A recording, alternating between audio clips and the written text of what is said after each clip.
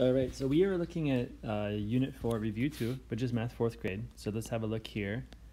And uh, we're starting with comparing the population of some different American cities. So first, we're looking at um, New York versus Philadelphia. So there's New York and Philadelphia. So like that, and then I can write Philadelphia's population here, and in the middle, I'm going to put one of these three signs to compare which one is uh, greater than or equal than or less than. And then for Chicago, we're going to write this in words. So it's going to start with something, million, six, blah, blah, blah, blah, thousand, five, and then keep going. It's a pretty long number, so you might need some more space. So then the opposite is here. It's giving you Denver's population in words, so please write it in numbers there. And then we're rounding now. So just remember to look at the number coming after each number. So the nearest 10, the number coming after that 60 will tell you how it rounds. And then I think the other ones you can do for rounding, but this is an interesting one here. Let's look at number 5 through 10. So for these, uh, I would be careful. It's not asking you uh, about how many in the hundreds place. It's saying how many hundreds in general. So that's the hundreds place, but this includes anything there. So there are 10 hundreds in a thousand, right? And there are 70 hundreds in 7,000. So you have to look at that place value, but then also the numbers above it. So another example would be how many thousands in 38? Well, there's a thousands place, but don't forget about those. So there are 38 thousands there. so find that place value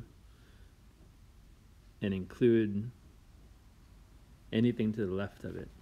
And then down here, we're looking at um, some comparisons, but we just need to remember some of these uh, metric system. So let's go over that real quick.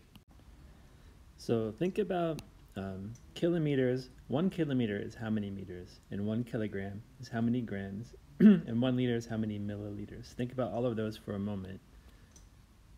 And if you've thought about them, you know it's the same for all three. A thousand, one liter is a thousand milliliters for all of those. So that's going to help you figure out these. So 18 kilometers we have here. So 18 kilometers is going to be 18,000 meters. So then you can use that to compare those two numbers.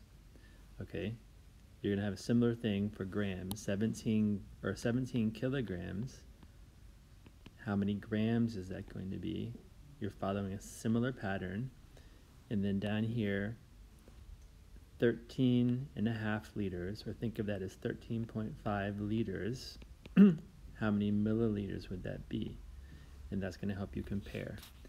And then let's do an open number line to solve this. And look at this. Jeff ran a 10K and uh, he ran 2K, two 10Ks. So how much faster was his second one? So let's do an open number line and we're aiming for one hour, one minute, and 49 seconds. So I'm going to start by going just seven seconds and getting myself to 58. Then let's just go two more minutes to uh, exactly one hour, zero minutes and zero seconds. And then uh, we can probably just go all the way now.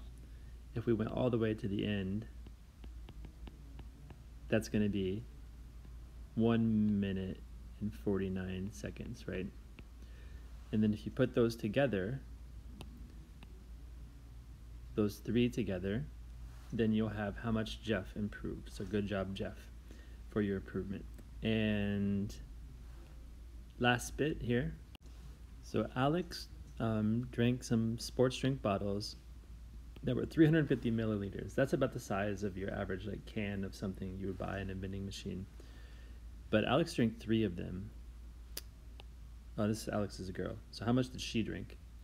So there's two ways to go about this. You could uh, just do three times 350, or you could just add them up like so to get how many milliliters that would be. Um, and then the last bit is how many more milliliters would Alex need to drink to have two liters? So just remember, two liters is going to equal how many milliliters? One liter is a thousand, so two liters is 2,000 milliliters. And then you'll subtract how much did she already drink to figure out how much is left.